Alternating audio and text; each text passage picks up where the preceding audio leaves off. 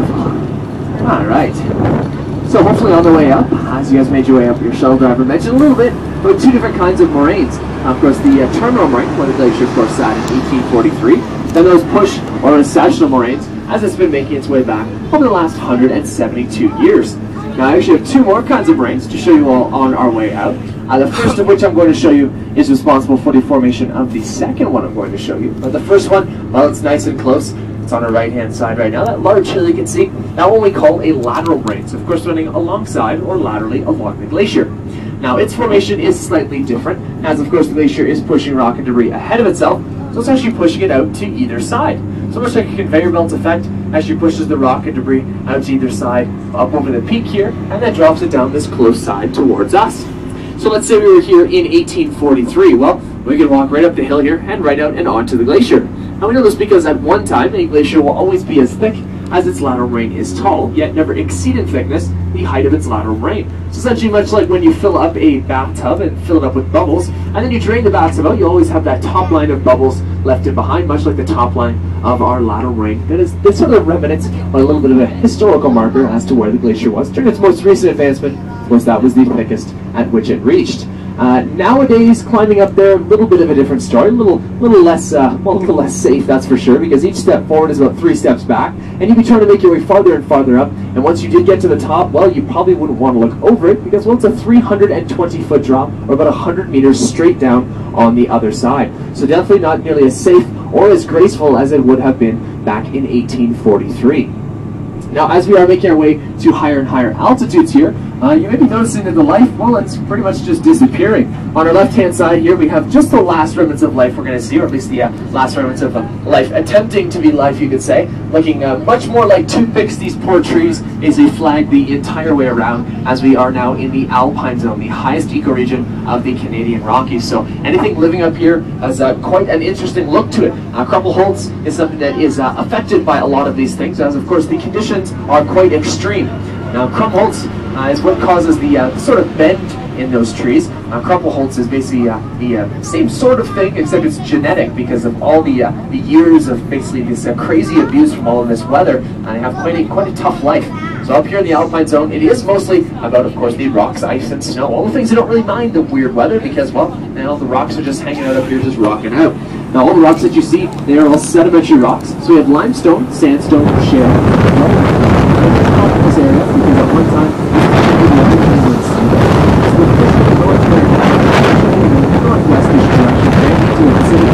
closed up that into the the bottom of it right up into the sky, and voila, we had our beautiful mountains form within about 65 million years ago.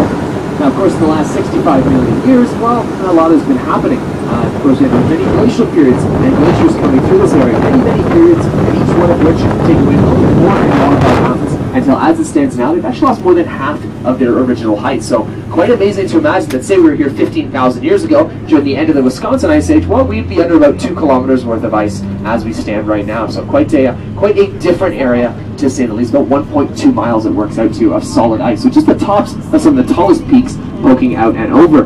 So of course, losing more than half of their original height, our mountains uh, would have actually rivaled the height of, let's say, the Himalaya mountains. Of course, Mount Everest, part of that range, sitting at 8,848 meters tall. Of course, the tallest mountain in the world. Well, a good example of one of ours coming up on our left-hand side there, the beautiful Mount Athabasca. It sits about 3,491 meters tall, about 11,171 feet. Of course, much less than half of its original height. And then, of course, to its right, my favorite mountain of the area, the beautiful Mount Andromeda. This one literally looks like it has had a bowl shape, like an ice cream scooper taken right out of it, because of that glacier sitting inside, and of course the Andromeda Glacier located right inside there, uh, which I'm going to give you a little more information about once we're out on the Athabasca Glacier, which get a much better vantage point looking up and at it. From here, we're only seeing just a little portion of it, as we can see now, just almost like a tongue sticking out there. Now, of course, Mount Andromeda this is at about 3,450 meters tall, so about 11,100 feet. Uh, they're what we call the 11,000 or so. Uh, 11 of the 22 tallest peaks in the Canadian Rockies do surround the Columbia Icefield, all in and around the 11,000 foot range. So quite, uh, quite large mountains to say the least. Now, right now, though, we are on the bedrock of Mount Athabasca, and you would figure we should have some pretty good stability because, well, we're on the bedrock. But uh, surprisingly enough, very unstable area because as the Athabasca Glacier is, of course, receding, losing its length, but also downwasting, what we call losing its overall thickness. Uh, basically, the poor lateral moraine no longer has a crutch to hold it in place, so it'll collapse down and out, The only thing left here to displace it is what we are driving on right now. So this is all slid on about a 45 degree angle, a total of about 80 feet since just the 1980s. So a lot of shift in a very short 35 years. Now we are going to have to do quite an interesting thing. We're going to have to go down 18 degrees or a 32% grade. So I do hope everyone decides to bring along a brown pair of pants with them because, uh, well, it's a pretty steep hill to say the least. Now it will work a little bit better than coffee, that's for sure, and a lot quicker than coffee. Uh, luckily for us, though, we do get to watch another bus go down ahead of us, so at least you can uh, totally see that it is completely feasible. Uh, now, don't fear, these buses are specifically designed for this hill. Uh, they can handle up to 20 degrees or a 36% grade, so we always err on the side of caution. I use the bunny ears because, well, we're about to go down a lateral moraine and nothing is really that safe about doing such a thing. Now, of course, the rule is we can only send one bus down the hill at a time, for safety precautions, of course, because if we have any mechanical failures, we don't want to careen down the hill and slam into the back of number 548. But while she's on her way down, we can take our time and uh, get ready for our descent. So first thing we do is always put the bus down into first gear. Of course, we don't want to be doing a Mach 10 by the time we reach the hill here, turning this into a Hot Wheels track, so we uh, put our bus in nice low gear. Also, engage our front wheel drive, so we are actually be powering with all six wheels as we make our way down the hill. And then finally, and the most important thing of all, is actually do request that you all throw on your lap belts for me. Uh, now the hill is quite steep, and uh, people do fall out of their seats a lot, so we uh, did it so I'm kidding, there's no belts in this entire bus. The only belts on this bus are located on the engine, or at least I hope they are, otherwise we're going to have a hard time getting down this hill. And when we're ready, you guys trust me? Uh, that was a mixed bag of yeses and nos there. You trust the bus at least? Uh, ooh, don't hurt her feelings. She'll break on us. You're a good girl. Everyone loves you. They're just kidding. They're just kidding. All right. Well, if you guys do get nervous, you could do like I do. Just uh, close your eyes and hang on to something in front of you. Luckily, I have a big old steering wheel here to hold on to. You guys ready? Yeah. All right. Here we go. And we are off. Alright, so just as we start to go down the hill there, you may have felt like it really works. This is a transmission lockup that we engage. So uh, it's built into these vehicles, essentially coupling the motor and transmission together. So essentially as fast as the motor will spin is the fast as the transmission will spin. So we are completely locked into first gear, uh, whereas we can only go about 22 or 2300 RPM. We, this is the fastest that we will make our way down the hill. Nice and slow, and of course we get a nice view of all the things around us. Get to our right-hand side, it's the beautiful Sunwapta Lake down there in the valley. It's actually the newest one glacial lake in the entire Canadian Rockies, only sitting at 870 Just a baby as far as glacial lakes go. As well, on the other side of the valley, you can see the other lateral rings. Of there are two, one on either side of the glacier. You can see that 320-foot drop, or 100-meter drop down the other side there. Quite a, uh, quite a sizable drop, to say the least, of course. As we make our way a little farther down, you notice that about, uh, about, uh, about 11 o'clock towards the top of the glacier, and about 5 o'clock down towards the tail we have this large ridge of rock laying across the glacier. Now this is our fourth and final kind of moraine, formed up when the lateral moraine will basically collapse out underneath the weight of itself, and actually slide out and cover over part of the glacier. So it's an average of about 4 feet worth of rock, with an average of about 85 feet worth of ice underneath it. It's our beautiful ice cored moraine. So all this rock does quite an amazing thing, of course working more in favor of the glacier than it does for us, as do most things out here in nature. Of course the ice underneath here is being kept so cold and away from the elements that it's actually completely stagnant and actually the last part of the glacier to melt away. Now the ice that sits in front of us right now moves about just about an inch a day, about 4 centimeters per day towards the highway, averaging about 10 to 15 meters per year, so about 30 to 45 feet every single year. Of course we do get accelerated cycles or accelerated uh, little movements, but for the most part it averages about uh, 10 to 15 meters per year. Now, of course, the really dangerous part then becomes for us being in a 55,000 pound bus right now, I don't really know what we're driving across. So for all we know, we could roll across an ice cave, which would then collapse, fall into our gyms, and probably never be seen again. So luckily for us, we do have lots of machinery, which will come out here sometimes up to four times a day to make sure that this ice core moraine road we're on right now is as safe as it can possibly be. So they'll actually collapse those out for us and uh, fill them in with some rock in the roof area, give us this semi-smooth surface that we're currently driving across. Now, directly ahead of us, you'll notice there is a large puddle there. This is actually our rookie bath. So we take all of our first-year drivers and we throw them on in there. They go in nice and pink and come out nice and blue, much like the glacier, as you can imagine as well. With the water only being about a degree above zero, some of the gentlemen also coming out a little bit less of a man as well. Now, I myself, I prefer to drink the water rather than bathe in it. I'm actually 86 years old, believe it or not. I just drink glacier water every single day, so it keeps me looking nice and young. And luckily for me, I've been fooling my 23-year-old girlfriend now for a solid two years. Hopefully she never finds out, otherwise I'm going to be a lonely old man. Now, of course, this water does serve a real purpose for us. We use it to clean off our tires. We want to get them as clean as we can before we get onto the glacier. We try and keep what's called the albedo coefficient, or the overall reflectability, as high as we can. So essentially trying to reduce, of course, our environmental impact on the glacier, but as well we try and uh, keep it as reflective as we can to make sure this road is actually going to stay flat and not turn into, uh, well, much like the glacier to our left and right hand sides. As of course it is ice, so there's a big spot of mud left on it. As you can imagine, that will turn into a huge pothole even within a day or two. So we do spray these well every evening, just in case there's any uh, little snow on the road. Uh, you may notice though on either side of us right now, there's all this almost like dirt and dust sort of laying on the glacier. Now, this is dust. It's what we call. And it can come from many different sources.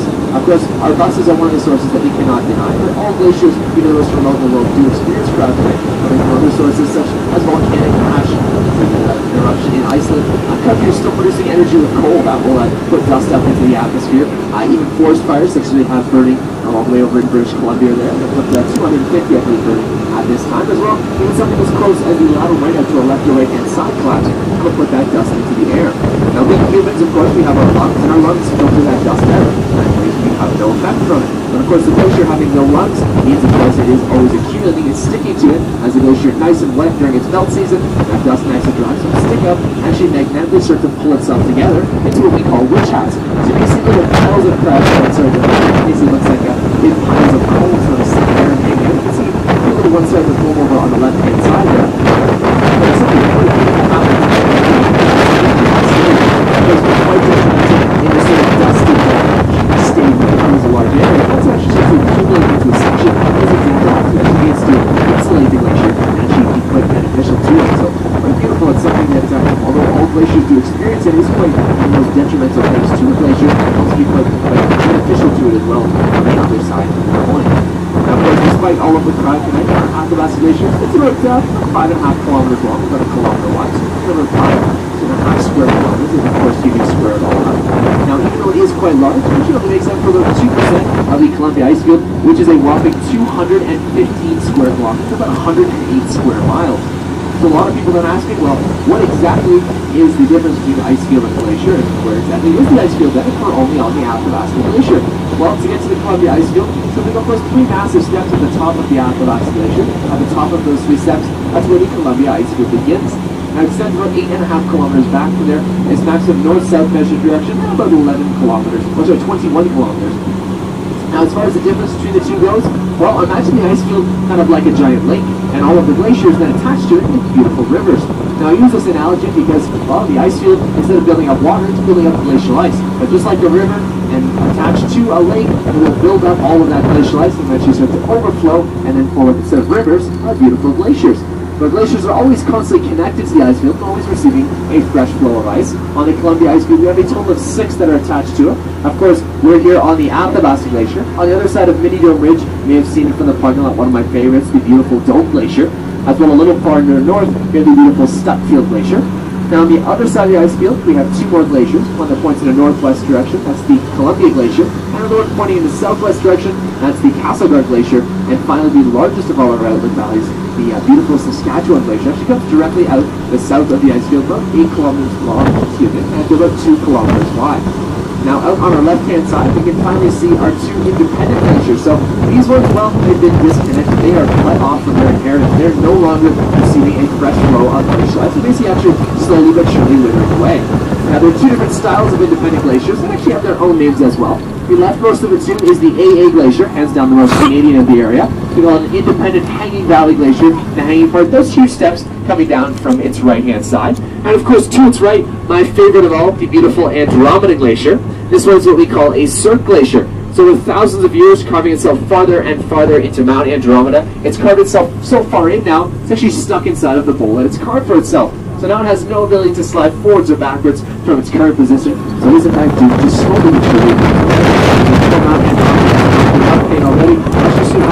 how to it on top of. Now we are almost here at a turnaround point. We do just have two major rules. First of all, got nobody goes in behind or underneath the buses, as of course they are constantly backing in and out. and it is well past breakfast, so I'm sure we don't need any pancakes out here on the glacier.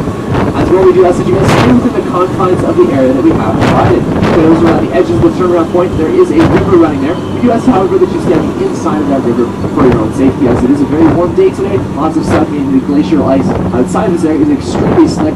Also with uh, crevasses up to about uh, 250 feet deep, so that's a, a dangerous thing outside of this zone. Now, a maintained and safe zone, of course, it is quite safe, but there are little holes you'll notice uh, marked out with cones. Some you haven't even found yet, so just do your best to uh, watch your step while you're walking around it there. If you're going to take any photographs, I recommend just sort of standing still uh, and then taking the photographs, and then uh, continue to move and watch where you're standing. Otherwise, everyone, we will be here until 4:45, so you guys get a solid. Uh, 16 minutes out here. So while we are out here, of course, uh, enjoy your time out there. If you have any questions, feel free to come up and ask me. Don't be shy. If I don't know the answer, I'll just make something up that sounds like it should make sense. But otherwise, everyone, enjoy your time out there on the beautiful Athabasca Glacier. Once you do get off the bus here, you will be standing on 265 meters or 848 feet of solid glacial ice. You all enjoy your time out there on the beautiful Athabasca Glacier. I'll see you back on this bus, the big beautiful blue one, for 445. Enjoy your time out there, everyone. Have fun.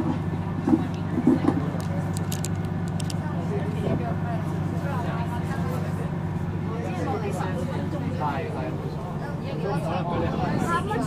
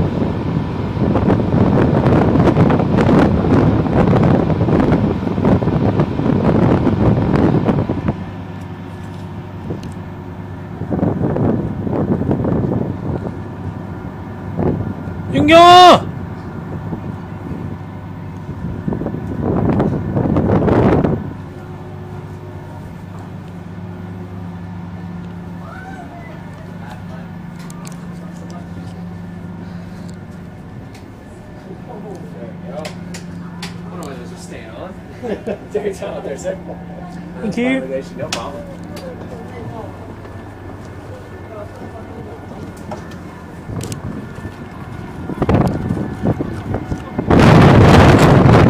어 춥다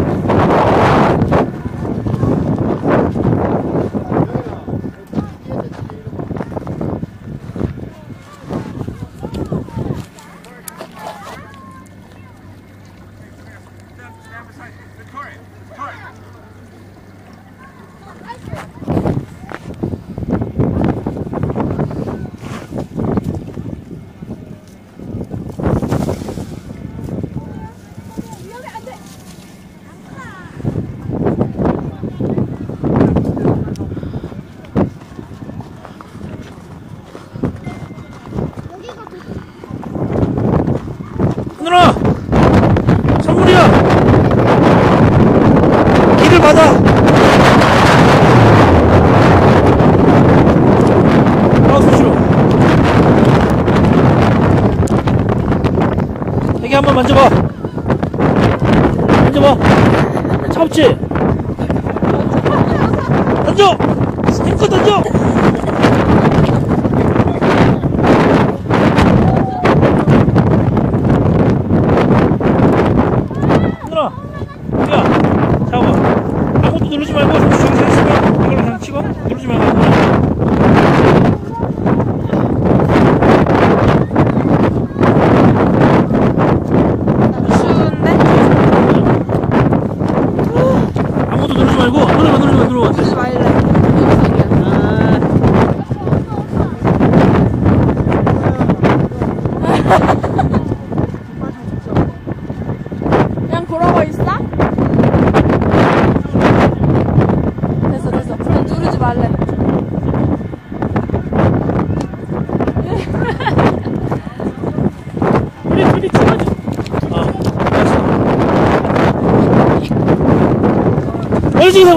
찍으세요.